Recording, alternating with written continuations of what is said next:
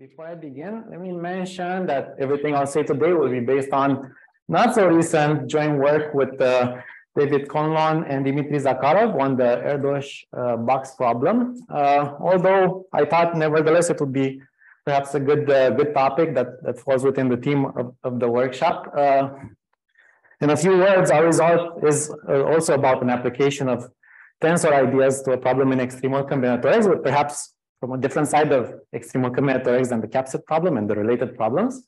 And on the other hand, uh, it's a topic that's also very rich in, in open questions. So uh, I'd like to maybe advertise a few of these. So without further ado, let me let me set uh, talk a little bit about some background around this problem. So as as uh, perhaps all of you uh, know already, a, a major theme uh, in extremal combinatorics is determining the maximum number of edges that the graph or hypergraph can have if you forbid a certain fixed size graph or, or hypergraph. And uh, this, this whole started with this really beautiful theorem of, of, of Turan, first proved by Mantel in, in, the particular case when r equals 3, which states the following. If I give you, give you a parameter that's at least 3, a positive integer, and a graph on n vertices uh, that does not contain a copy of the complete graph on r vertices as a subgraph, the number of edges of, of the host graph G is maximized by this nice quadratic function in the number of vertices, this n squared over 2 times this factor that depends on r, uh, 1 minus 1 over r minus 1. This is a very nice theorem. It's important, uh, not just for historical reasons, also I think it's uh, really the um, quintessential perfect theorem in, in, in extremal graph theory. It, it, it answers uh, a question about the maximum number of edges. It gives an upper bound, this, uh, this upper bound is achieved by a certain graph called the Turan graph, which, which I'll uh, insert a couple of pictures of in a moment. And even more than that, we understand the equalities perfectly well. So the only graph that achieves this equality that has this number of vertices with the constraint is really this, this Turan graph. So well, what, what is this graph? When r equals 3, and we're looking at graphs that don't contain triangles, this is the perfectly balanced complete bipartite graph with n over 2 vertices on the left, n over 2 on the right has uh, edges n, n squared over 4. And uh, in general, uh, this, this kind of idea uh, extends very nicely. So uh, to get a really dense KRC graph, you, you split the vertices in R minus 1 groups uh, as, as balanced as possible and insert all the edges between vertices in different groups. Okay, so this is Turan's theorem. what, what can follow a perfect theorem? So many, of course, questions that one can answer. For instance, if you if you uh, look at other graphs instead of a complete graph on our vertices, pick, pick some other graph H. What is the maximum number of edges that G can have if it doesn't have a copy of H as a subgraph? Uh, so uh, this this uh, this invites some notation. So with with uh, with this ex of n comma h, uh, we denote exactly this answer. So this is the extremal the extremal function or extremal number of h. The Turan's theorem can be uh, very nicely written in, in this equation. So the extremal function of KR is exactly this, this number that was on the right-hand side before. Um, so in general, one, one can derive something of the same quality. Uh, so this was done by Erdős and Stone in 46. So for any, any graph that you fix, the extremal function is, is uh, up to uh, subquadratic error terms equal with this, this function. So n squared divided by 2 times this 1 minus 1 over the chromatic number of h minus 1. So another beautiful theorem uh, is the beginning of really many stories in extremal graph theory. Uh, so uh, um, that, that, I won't really touch upon at all. Um, and the, the story for today starts with this observation that for bipartite graphs, if you take H to be a graph with chromatic number equal to 2, this fraction uh, is equal to 1, so 1 over the chromatic number is equal to 1, cancels with the 1 there. So this, this expression just says uh, that the extremal the, the extremal uh, number of h's, little o of n squared, which is just an inequality that's interesting on its own, but uh, it also invites uh, further investigation. It seems like it's different behavior than than uh, than what happens for graphs that uh, that have extremal number quadratic in it. So uh, it's a very natural question: Can one do better in the case of bipartite graphs? And this is what uh, is now nowadays called the Zarankiewicz problem. Uh, equivalently, if I give you a bipartite host graph with m vertices on the left and on the right and doesn't contain a bipartite graph uh, a complete bipartite graph with parameters S and T. So S vertices on the left, T on the right, and all the edges between them there. So you don't have a structure like this. Um, what is the maximum number of edges? Can one do better than little of n squared? The answer is yes. Kővári-Sós-Turán proved this in 54. Uh, they show that the number of edges at most, there is a polynomial saving, it's at most n to the 2 minus 1 over s, or equivalently this, this extremal function of the complete bipartite graph uh, with, with, two parameters, S and T is upper bounded by n to the 2 minus 1 over s. And the question really quickly shifted uh, when, when is this upper bound really achieved? This, this, this became what's known as, as the Zarankiewicz problem. And uh, it's really beautiful problem. So uh, there's a lot of literature around it. Uh, uh, in, a few words, it, it, turns out it's, it's, a, it's a much harder problem to, to answer because it seems like constructions of such extremal graphs, whenever they're available, are not so all, like in the case of Turan's theorem. So they almost always are witnesses to some kind of uh, basic intersection theory phenomenon in, in, in over finite fields. So uh, this this was uh, quickly noticed in, in some cases when S and T are small, in particular when S equals T equals two. Uh, so graphs without complete bipartite graph with two on the left, two on the right. This is also a C4, a cycle of on four vertices. Um, uh, and also Brown in the case with S and T equals three. So there are graphs that match this Kővári-Sós-Turán up or down. And the constructions are really nice incidence graphs between points in very simple geometric objects over over fp squared and fp fp cubed respectively. This this kind of philosophy was was then really pushed uh, as much as possible to to get constructions for various ranges uh, of SNT. So I will only uh, I will really not not tell the story properly. I'll only mention really the state the state of the art. So uh, for t sufficiently large in terms of s, specifically at least s minus one factorial plus one, uh, there exists such extremal graphs that, that match the Kővári-Sós-Turán bound up to constant. So there are graphs of this many edges of the 2 minus 1 over s in that case that are KST free. And uh, they come from so-called norm graphs over finite fields. This is the, work called Rónyai and Szabó that was further refined by Alon Rónyai and Szabó that introduced a certain tweak to this construction.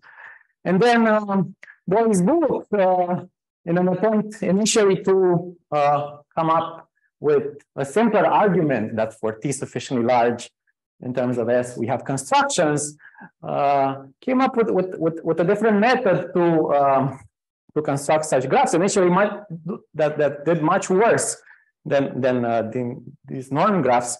But then, uh, not long ago, last year, uh, he managed to push, push these new ideas, so-called random algebraic construction, uh, approach to to get uh, get some new constructions uh, completely new. So when when t is already at least this exponential n to the s times times this factor. Um, which, um, but but uh, when when s is small, the, the previous construction are still still uh, the only existing ones. So I won't I won't say much about the, these uh, these constructions. I'll, I'll except for I want to maybe give you a short teaser about the construction in the case when S and T equals 2. That's not really the original construction at all, but in some sense it will bring us closer to, to tensors.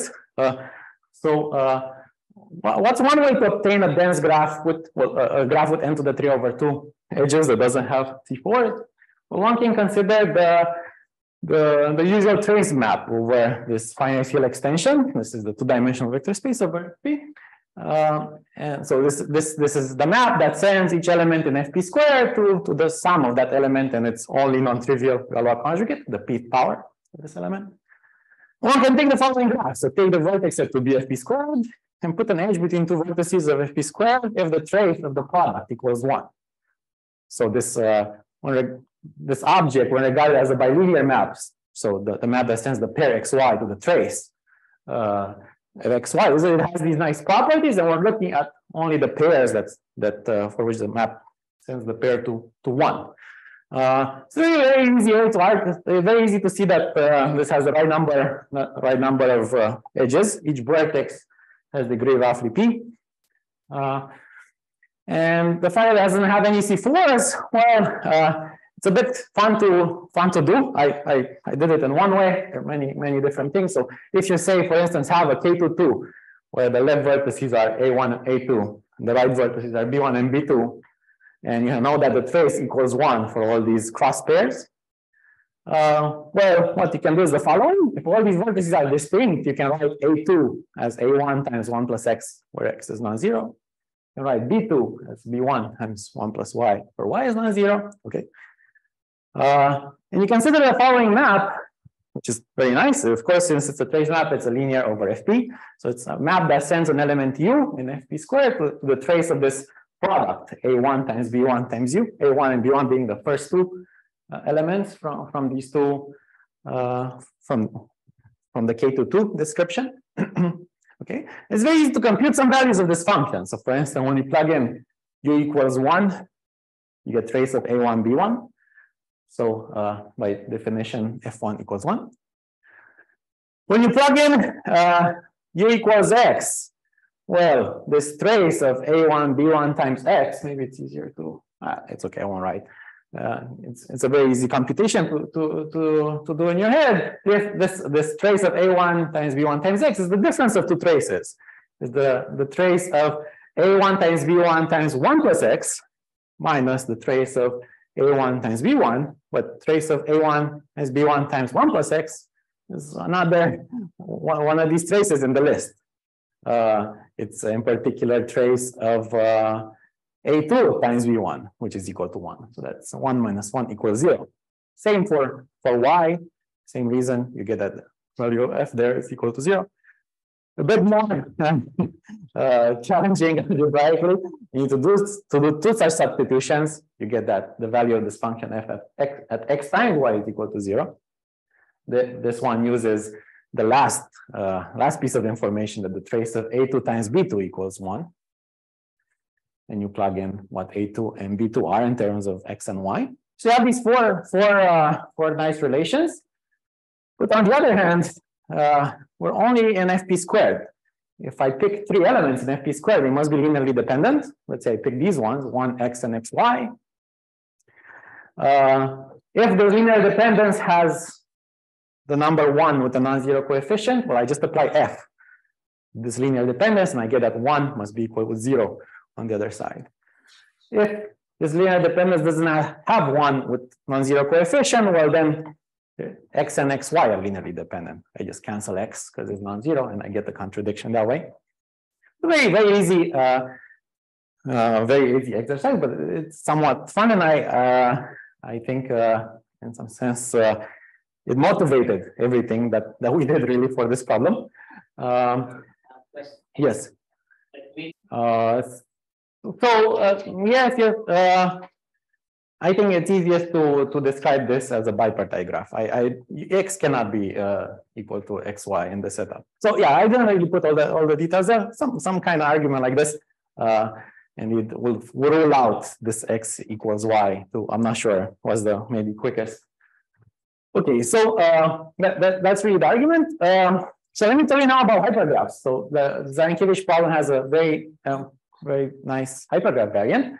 To, to set up some notation, if I give you uh, some numbers, S1 up to SD, and some uniformity D, at least two, I'll denote by this the bipartite uniform hypergraph with SI vertices in group I, and there's also a corresponding extremal function or the extremal number. This will be, uh, we're just going to restrict to bipartite hypergraph. So this will be the maximum number of hyperedges in, uh, in a host graph that's the in a host hypergraph that's the uniform and the bipartite. So the different set of vertices. And there's no uh, no copy of this uh, this complete uniform um, hypergraph. And all the all the vertices have uh, each size n. So this is a it's kind of a ugly definition to if you if you haven't really worked with this, but it has a much more appealing maybe the formulation, maybe in the world of additive combinatorics. Uh, so this is completely equivalent to asking for the largest subset of the d-dimensional box that does not contain a subbox of of uh, of that order s1 times s2 times sd. So um, uh, Erdős, Erdős studied this question in, uh, in, uh, in a paper uh, in the sixties, he generalized this covariance to an upper bound. He derived a general upper bound for all possible uh, S1 up to SD. In fact, you don't really need S1 to be at least two. I think I just restricted to this uh, this range because that's where the problem is most interesting. But uh, the, the upper bound is quite general. Uh, any choice of numbers, uh, let's say ordered in a way, then the, the extremal function is at most this n to the power d minus the reciprocal of the product of the smallest d minus one of the integers there in the list.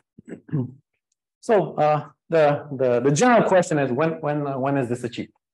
Uh, when can we have constructions of graphs with this many edges and, and without subboxes of parameters s1 up to sd?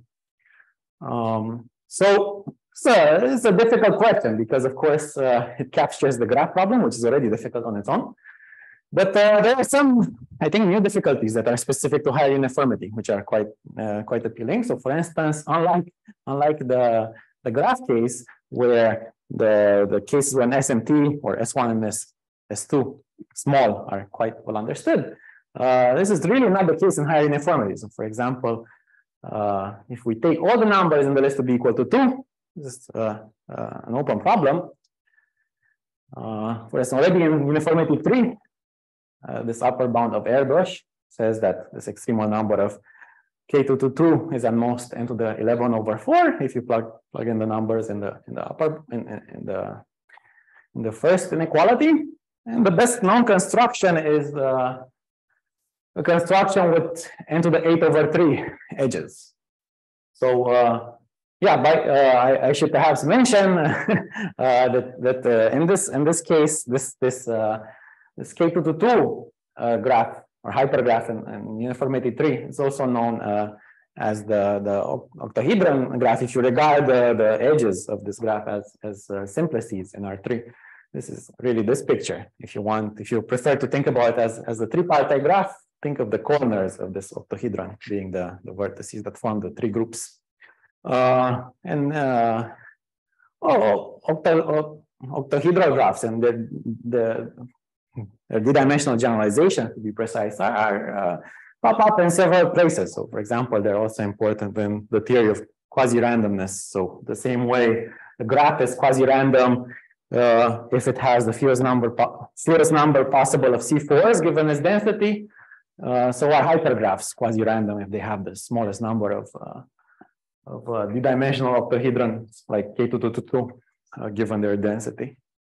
Um, so the lower bound I, I, uh, I, should mention is due to Katz, Krop, and Maggioni for 2002. Uh, and, and finding the answer just in this very case, uh, I think is the most tantalizing case, known as the Erdős box problem. Uh, okay, um, so let me tell you a little bit about what's known in higher uniformity.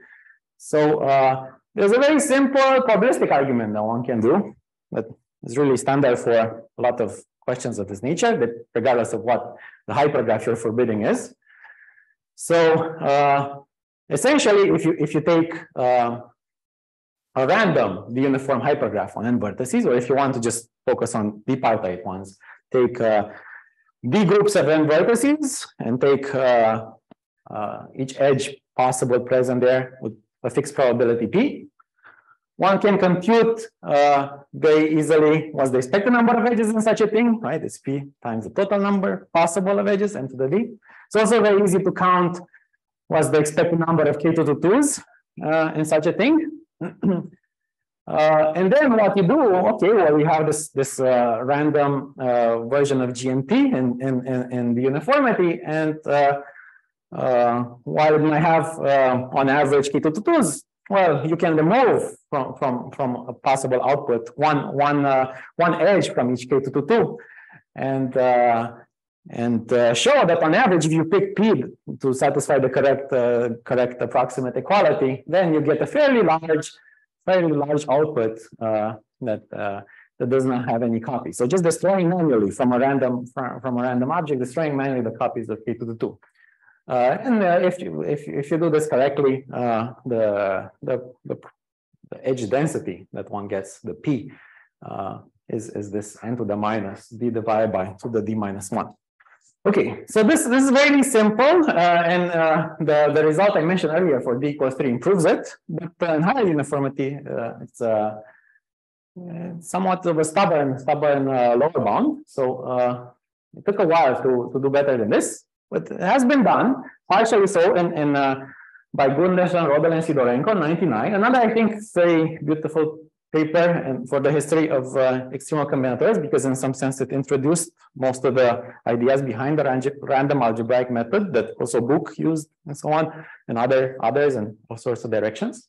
So what, what they showed is that, well, okay, for some uniformities D, if I have a number S that's the smallest integer, such that this fraction SD minus one divided by two to the D minus one is an integer, then turns out you can gain a little bit on the exponent. So this is a polynomial gain. There's a there's a factor there of one over s with a minus uh, in the exponent. Uh, so as as hinted, this this uh, this is an improvement, but not in all uniformities. So uh, it's it's not uh, not not not too hard to see that uh, this this this s exists precisely when d and to the d minus one are relatively prime integers, which which happens for uh, for for for infinitely many uniformities, like when d is a prime power or uh, or okay odd prime power or power of two, any any prime power, but uh, it fails for quite a few numbers. So if it fails, for instance, for a number k, it fails for all the multiples.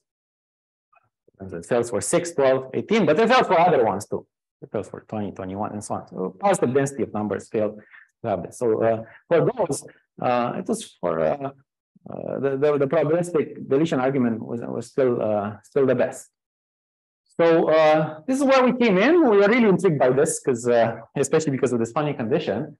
So in in, in 2020, so three years or so ago, with, with David and, and Dmitry, we improved on this bond uh, of Gunderson, Rödl, and Sidorenko uh, by really tiny amount, which might be uh, almost imperceptible if you if you're just staring at these exponents and you're seeing them for the first time.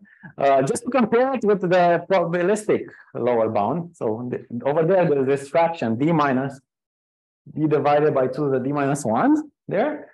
All we have here is that we have a ceiling function somewhere. So it's one. Uh, it's really the same fraction, except now we have a ceiling function which is a gain over the probabilistic deletion bound all uniform. It's just because the fraction is never an integer or the reciprocal of an integer. Forget which way. Uh, so d never divides to the d minus one. Okay, this this is an elementary number theory exercise. Uh, it's also not clear that uh, you know if if you don't stare down at, at this long enough and, or write some things, it's not clear uh, that it improves on the Gunderson-Rödl Sidorenko but it does.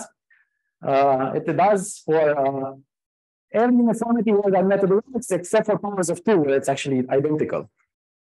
That's a curious phenomenon we where we don't really uh, know what's going on. Also, uh, when d equals three, this matches this n to the eight over three uh, bound that I mentioned earlier of Katz, Krop, and Maggioni. Um, so yeah, let me see. The time is. Oh, my goal today will be to try to tell you uh, uh, about this proof, since I think uh, it's not, not a difficult one. I think it's a appealing use of tensors. But before that, you may, may mention a, a cute consequence that could maybe serve as uh, motivation for to look for other such improvements for extremal numbers whenever possible. So uh, turns out just this small gain over, over the probabilistic deletion bound, this small polynomial gain in the exponent, uh, is already enough to establish uh, uh, an optimal counting result. So uh, a quick corollary, and really we don't really do any new work here. A quick corollary of our of our theorem is that for any b, at least two, in any uniformity, the total number of uh, hypergraphs on the vertexes from 1 up to n, so labeled hypergraphs, without d-dimensional octahedra, uh, is really at most this uh, exponential function to the extremal number of the, the dimensional octahedron up to uh, so times a constant that's probably not really optimal. So this is this is an optimal result because uh, uh, indeed there it's not difficult to see that there are at least that many uh, the uniform hypergraphs without K222s. Just pick an extremal example, and then any sub-hypergraph of that uh, will constitute an, a hypergraph on those n vertices without K222s, and there are really two to the, that many edges of, of hypergraphs with that property. Uh, so uh, this, this generalizes the classical theorem of uh, Kleitman and Winston, who proved this when d equals 2. So in particular, they proved that the number of C4 free graphs on n vertices is at most to the extremal number of C4, 2 to the n to the 3 over 2. So uh, this is from recent work of Ferber, McKinley, and Samotij on the so-called hypergraph container method. Uh, and uh, so there's a lot of input really in, in, in what makes this, this, this implication work. We don't really do anything, but uh, it's somewhat of a small miracle that uh, just a tiny gain over, over the standard deletion bound, that's probably not an optimal bound for the extremal uh, function. We don't really think that that might be an optimal construction, just a tiny polynomial gain there. It's an optimal counting result. um, before I, I, go to the proof and to the promised tensors, uh, I'll also add a couple of words about the regime where SD is much larger than S1, S2, SD minus 1, because I've already discussed in the case of graphs, that's uh, also quite interesting. And, uh, and uh, extending these these ideas there for hypergraphs uh, took uh, was quite challenging. Uh, the situation changed in 2018. So in a, in a nice paper, Ma, Yuan, and Zhang uh, proved that it is possible to um, to find the matching construction for the Zarankiewicz problem in uniformity D when the last parameter is much larger than S1, S2, SD minus 1. The method uh, was the same as uh, the method originally introduced, originally developed by, by Bukh to come up with, uh, with an alternative proof in the graph case. It was really bad quantitatively, and, uh, and the bound uh, of Ma, Yuan, and Zhang uh, is also quite bad. So already in the case of graphs, this, this gave power type bounds for C. Uh, and there's an extra iteration for hypergraphs, so this gets really worse and worse uh, for higher uniformity. Given that the the the, the method uh, of Bukh got very seriously refined for graphs, it is not uh, impossible that uh, maybe this will be refined also at some point soon. But um, it it is uh, difficult to not get power type bounds even even with these. Uh, extra ideas. So one, one has to come up with some new ideas to kind of circumvent iter possible iterations with the uniformity and so on. So that, that typically is not easy to do. Uh, somewhere between between Bukh's new paper and, and this paper, we also took a look at this and uh, improved the situation uh, by finding the right generalization of the norm hypergraph, projected norm hypergraph story of uh, Kollár, Rónyai, Szabó, and then later Alon. We showed that this this uh, these uh, extremal graphs for the uniform Zarankiewicz problem exist as soon as SD, the last parameter is at least this function uh, of the previous D minus one ones. So it's at least this uh, D minus one times the product minus one factorial, not the smallest number in the world, but uh, it generalizes very nicely the, the D equals two case, uh, and it doesn't grow that clearly compared to uh, what one gets by iterating uh, things in this construction for graphs. But I won't tell you anything about this. It's somewhat orthogonal, doesn't uh, doesn't really use tensors. I will uh, now maybe move on to say something about the case when S1 equals S2 equals SD equals 2. Uh, so maybe it's a good time to pause if there are any questions about the statements uh, and so on. Yes. Oh, so this, this is an excellent question. Probably absolutely impossible. Uh, just even uh, even the friendliest case possible for graphs, like this one, for graphs when S and T equals two, where we have these nice constructions, they're incidence graphs between points and lines and FP squared. We have this trace construction. Uh, um, the situation does not really match the quality of this original Turan theorem at all. It will be, it would be indeed great if one could maybe prove that somehow all these examples are unique in an appropriate sense, but this seems very, very difficult to establish, even in this case. And especially more so, I think, uh, in general. Okay, sorry for uh, going back here. Okay, so let me tell you what the idea. Uh, so I'll begin with, with the Gunderson-Rödl-Sidorenko idea, since we really built on this, and it's a very neat one.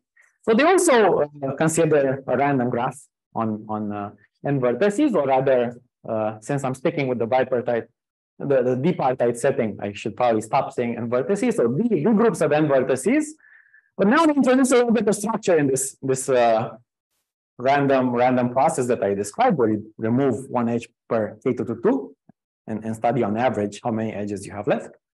So they consider n to be q to the s, where q is a, is a prime number or a prime power, does not really matter. Uh, the first d minus one groups are just groups without any structure. They're just uh, d minus one groups of size q to s. But the last one has some structure. It will be the s-dimensional vector space over fq.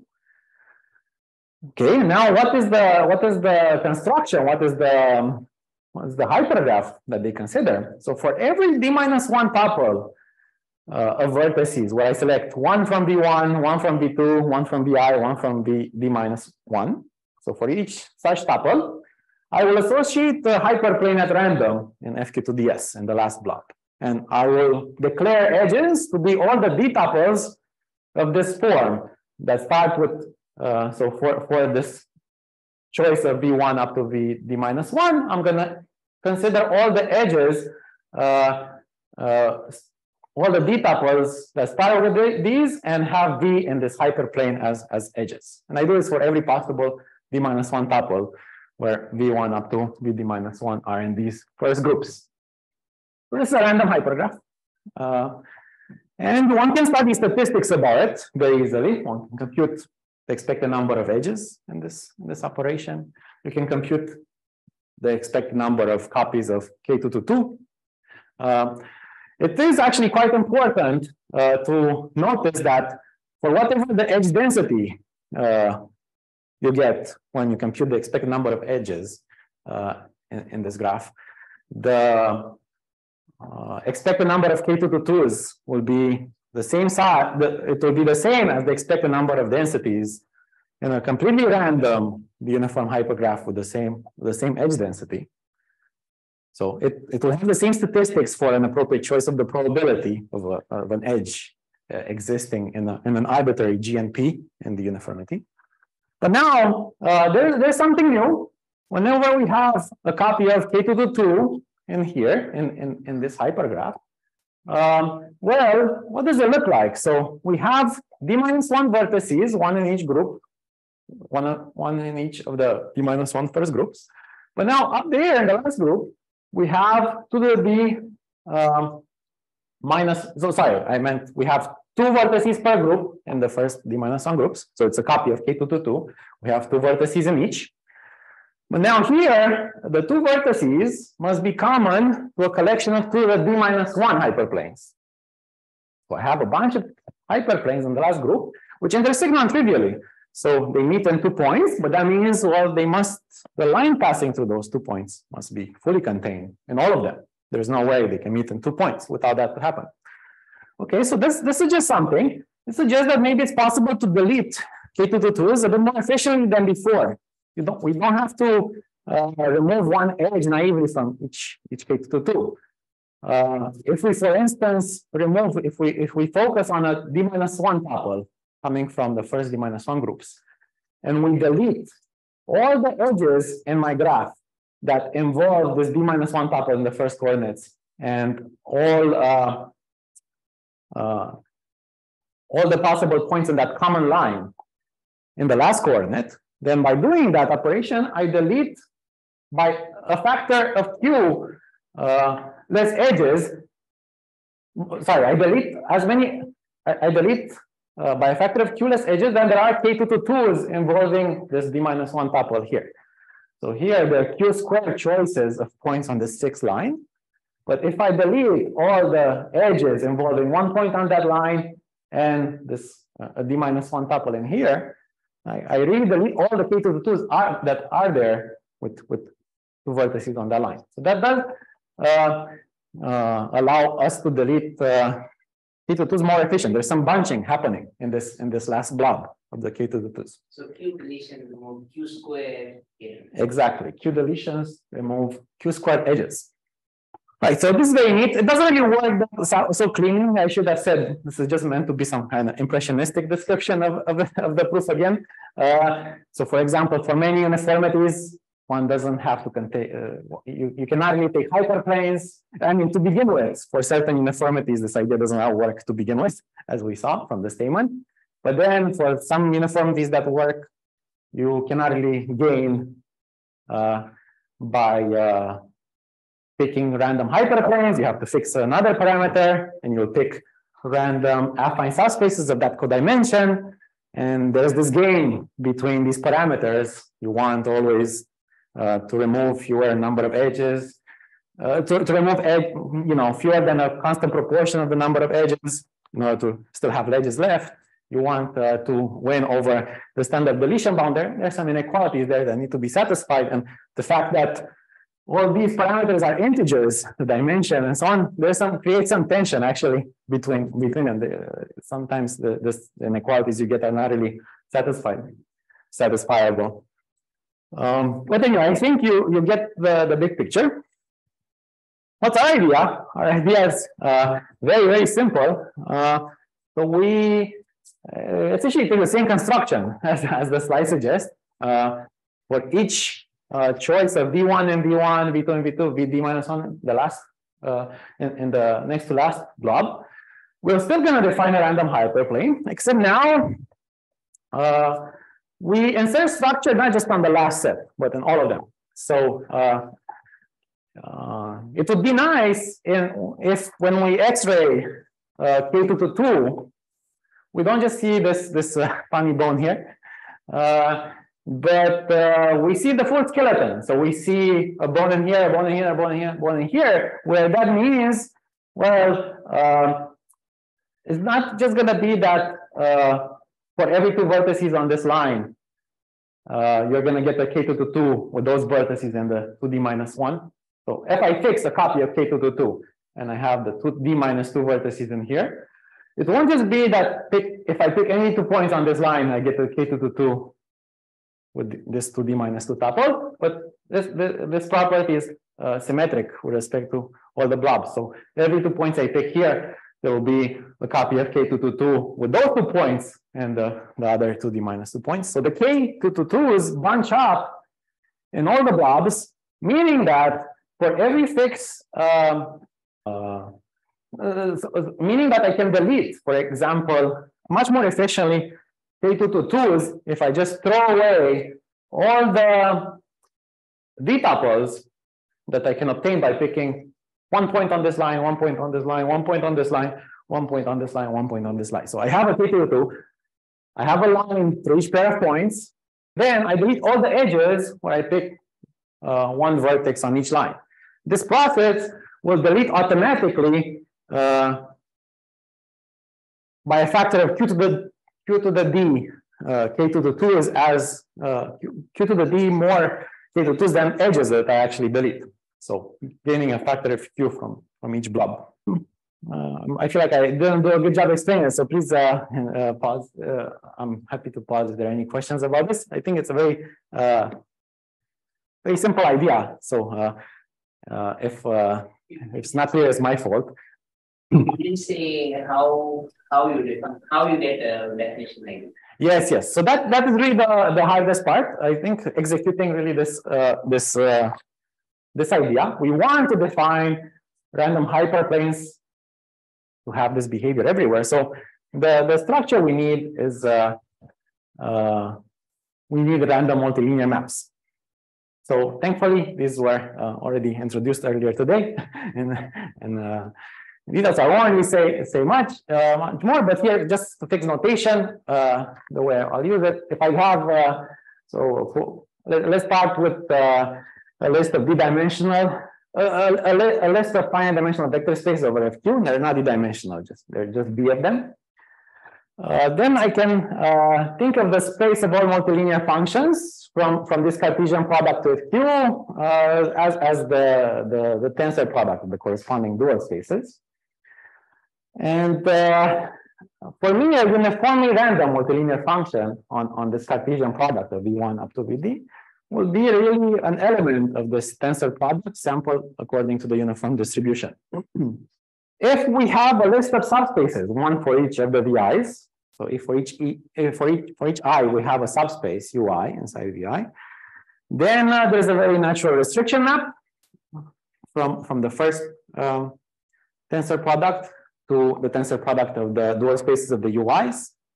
And this restriction map is very nicely behaved with respect to taking uniform tensors. So uh, uniformly random tensors. So for instance, this restriction of a uniformly random multilinear map to the, to the smaller Cartesian product, U1 times U2 times UD, is also going to be uniformly random. Very simple property, but quite important for, for uh, so uh, what is what is the construction? uh, I'll state this in uh, in uh, full generality, uh, even though uh, maybe I don't necessarily have to, but I think it will be a bit more transparent this way. So I fix some parameters, the RS and Q some prime power. You can think of it as some prime number. They will satisfy some inequality, but don't worry about that.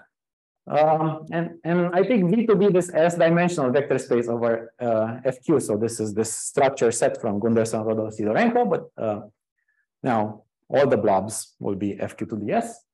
And now I define R uh, uniformly random uh, multilinear maps in this default tensor product. Um, what would be my hypergraph? So I'm going to consider a d-partite uniform hypergraph where the vertices, the, the D blobs of vertices are these copies of FQ to the S. And I'm going to say that a, a D tuple, V1 up to VD, is an edge if this D tuple gets sent to 1 by all these tensors that I sampled. So this is a hypergraph. The claim is that uh, if R and S are chosen such that some inequality is satisfied, then you'll see in a second where this comes from. Then on average, we can delete uh, a small number of edges uh, from H and destroy all the copies of K222, thus remaining with, with, uh, with the construction of a graph, a hypergraph without copies of K222, and hopefully uh, many edges if the number of edges. Uh, so uh, in particular, if I can convince you uh, that on average, the expected number of edges that this d-part uniform hypergraph will have is the constant times q to the power d times s minus r, then this will be a construction on, well, uh, d times q to the s many vertices. So if you denote this, this product by n, this uh, q to the d s minus r will be n to the d minus r over s. So it will have n vertices and this many edges. And r and s satisfy this inequality in d. Um, so uh, turns out, well, you can choose, for instance, r equals one and s equals the ceiling function, thus giving the result. So this, this will be exactly this reciprocal of the ceiling function from before. uh, so you shouldn't worry too much about all those numbers. Uh, I'll, I'll, I'll, um, I'd like to focus on, on uh, what's really the way to formalize this, this uh, effective deletion procedure that I was describing. so uh, here's again the construction. Uh, there are three statistics I care about. Let me begin with the simplest one. So if I define this, this bipartite uniform hypergraph, I claim that on average, it will have this, this, uh, this number of uh, edges, q to the d times s minus r. More precisely, we can write a formula. So there's this q to the s minus 1 raised all to the power d first times q the minus r. Well, the first first power, this is the number of total number of eligible tuples that can be uh, that, that can be edges in my in my hypergraph to begin with. Notice that if I have some some coordinate vi equal to zero, then it's impossible for um, for my uh, multilinear maps to send that tuple to one. So the eligible tuples are only tuples with non-zero coordinates.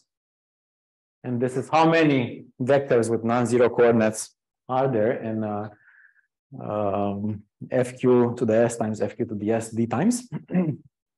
okay, and then what is this cube the minus R? Well, this is the probability that we're gonna fix D tuple V1 up to VD.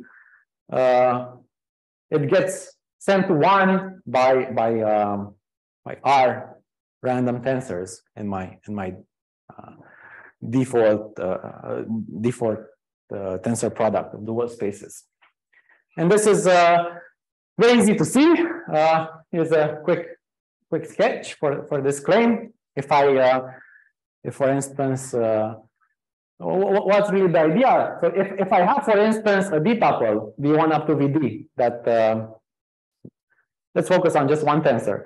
So if I have a D tuple, V1 up to VD that gets sent to one by some tensor T, well, notice that this completely determines this tensor T on a restriction. So if I take the one-dimensional spaces UI generated by these vectors VI, uh, then this uh, this uh, if if if uh, if t sub i the, the the i tensor is equal to one on v1 up to vd, then we know completely what is this restriction uh, t sub i prime on on uh, on u1 times u2 times ud, right? Because uh, we can just calculate it.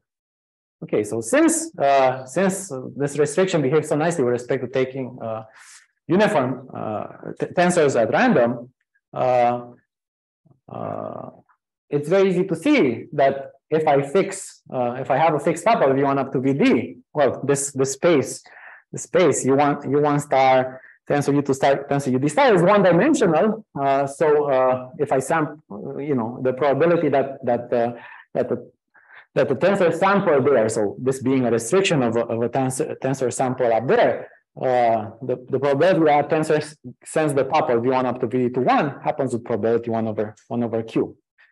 Right, there, there are many um, linearly independent tensors. Uh, okay, and since the tensors are in, independent, then that explains the q dot minus r. So this gets raised to the power r, one for each, one for each tensor there. So this, this explains the statistics for the number of edges. Uh, there's a similar statistics for the number of K222s. Uh, I won't go over the calculation, but somewhat similar. Here, of course, this is uh, the number of eligible 2D tuples that can possibly be K222s. Again, from a similar kind of analysis. This is how many D tuples are there with non-zero elements. And now, if I want a K222s, so all the edges in that K222 satisfying this equality, I cannot have whatever else I pick from the same blob. I cannot have it to be a scalar multiple of, of the first choice.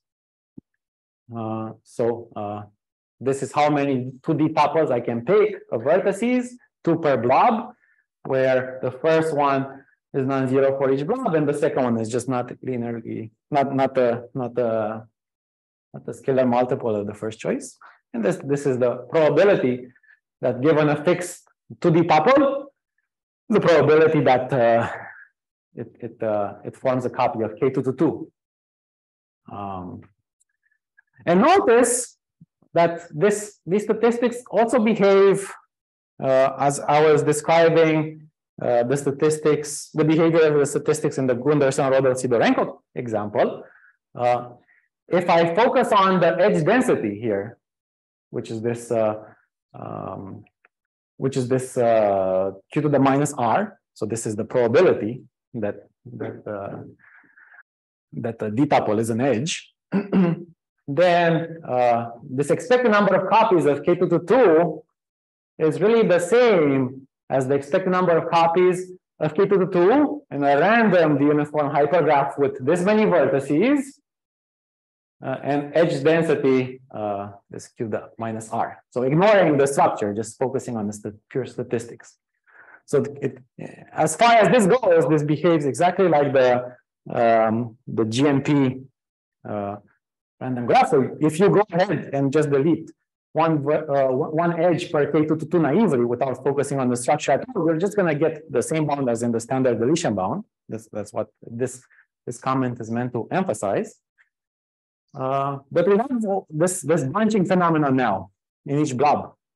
So if I denote, for instance, by B, the family of all D tuples that are involved in some K2 to 2, the claim is that on average, this number is much smaller than the number of K2 to 2s in total.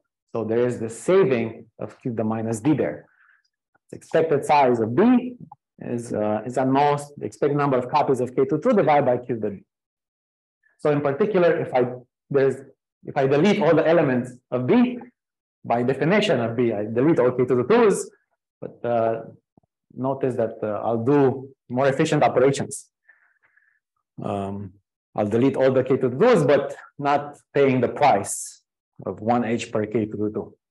So uh, this is if if if uh, if you believe in these three estimates, uh, it's not not difficult to see uh, that well if B, S, and R satisfy some inequality, which happens to be the inequality from before, uh, then this expected size of, uh, of B is little o of the expected number of edges. So if you really delete all the D tuples from B, you destroy the K2 tools and you don't really destroy more than uh, a certain proportion of the number of edges.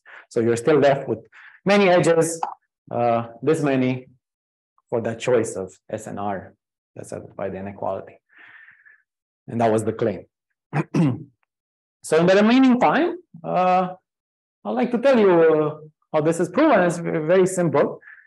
Uh, hopefully, I'm secretly hoping that maybe the uh, this this stuff maybe has more applications. Um, so, uh, what, what what is what is the idea behind this this uh, third estimate? So I'm gonna um, kind of classify the K222s based on what are the affine lines they come from. So remember the picture, every time I have a K222, I can draw the line to each pair of points that are in the same blob. And that gives you a set of the affine lines. And by P of N1 LD, uh, I'm going to define the all no this the the set of all uh, 2D tuples of vertices where I take two points per line. Okay. And when I say pick two points per line, I'm not allowing those points to coincide. So I pick two points per line and xj and xj prime are distinct when you choose them from the line lj. Very simple calculation. How many, how many such um, such sequences do you have, right? You have q times q minus one options to choose xj and xj, my, xj prime for each line lj. Uh, so I want to group the K2s based on on on uh, these tuples of affine lines that, that they can possibly generate. Uh, this this will be really a double counting argument. So each each each K2 is trivially contained in, in, in uh, P of L1 LD for some choice of lines, just by definition. These will be the lines determined by the two points from each blob of the K222. And here's another trivial property. If I give you two different sequences of lines, then these, these uh, collections of sequences will be disjoint for if, if, the, if the sequences of lines are disjoint. The third property, which is the interesting one, is that um, we also have the following feature. As soon as you give me a collection of D lines, the affine lines that C some K222, so there is some K222 on the lines L1, LD. So by F, I will denote the, uh, the set of all K2 to 2s in my construction. So the, the, there are two D patterns where I have uh, two distinct uh, points per blob, and the, my tensors send all those edges, um, send all those D tuples to one for every choice of epsilon in zero one. If I see some K to the two on uh, uh, on some lines L1 up to LD, then uh, all um, all all my all possible choices of, of 2D tuples where I take two points per line will uh, will form a K222. This is what this inclusion is saying. And this is what I was trying to describe uh, on the picture without really the right words for it earlier. Just to have a, an excuse for my bad explanation. Uh, so this was immediately from multilinearity. Uh, so from, from the multilinearity of, uh, uh, of these functions, the way we define the edges. Right, if, if, uh, let's focus just on one, one of the, the tensors, if, if this T is multilinear. Um, and, uh, we have a K two to two formed by the, uh. By, by, these vectors, uh, so VI zero, VI one, where these are the two from the, the, the set VI, and I do this for I from one up to D. So all the possible, uh, transversals are uh, of, uh, of so one one tuple per group, uh, one one vertex per group. All, all those transversal are sent to one via my tensor T. Well, then okay, if I pick, if I draw the line through each pair, draw the line through these two, any vertex I pick on that line will have this this representation. It's an affine combination of vi zero and vi one. And of course, if I plug in uh, a d tuple of vectors, each of which is a affine combination of the corresponding two on the line determined uh, by the pairs from the from the K2 to 2 you start with. Uh, then this tensor will send you one UD to one, just because you can insert this, you, you plug in this, and uh, this is really equal to one. Um, so you have these three properties uh, for the, the these uh, tensors of lines. I, I call them, but they're really, you know, collections of 2D tuples of vectors. Uh, a sequence for each, uh, I mean, for, for each choice of the affine lines, we have uh, uh, this this q times q minus one sequences, and and in total, this is the cardinality of P of L1, L2, LB. We have these three properties. So I recap each K2 is uh, such a sequence, the vertices from such a sequence. The sequences are disjoint for each choice of affine lines. And if I see a K to the two on some choice of the affine lines, then all the possible 2D sequences from that um, from a K2 to two. So this can be uh, very nicely uh, uh, interpreted as follows. If I denote by L all my lines that see some K2 to 2, then I understand very well the cardinality of L. Right? So I basically grouped the, the K2 to 2s uh, in these different categories, depending on what, what are the lines they come from. L times the cardinality of uh, the set uh, is equal to the total number of K2 to 2s that you can see. Just uh, if you want, there's it's a partition of the K2 to 2s into, into um, uh, this many equivalence classes, and each equivalence class has this, this cardinality. And then on the other hand, if I give you some tuple, remember that's involved in some K2 to 2, so that's how I define B. I look at all the tuples that are involved in some K2 to 2 begin with. Well, by definition, uh, this must be a tuple that comes from uh, D lines, lines that see some K2 to 2. So the by union bound is B is at most Q to the D times L. Q the D is the cardinality of Cartesian product of D lines. So uh, putting these together gives you uh, this estimate for B.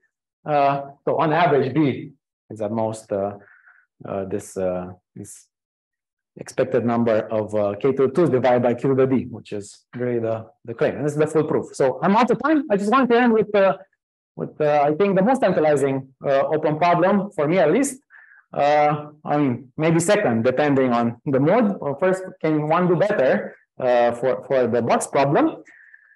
Uh, well, what, what is the truth? Already in uniformity 3, it's not clear if it's into the 8 over 3 or into the 11 over 4. But lots of graphs.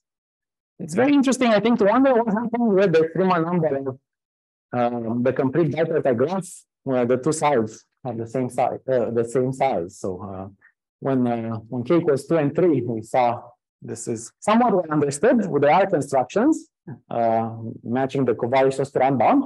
But in general, uh, we don't, know much more than the probabilistic deletion construction, which which uh, has that many edges. So uh, I think it's a nice question.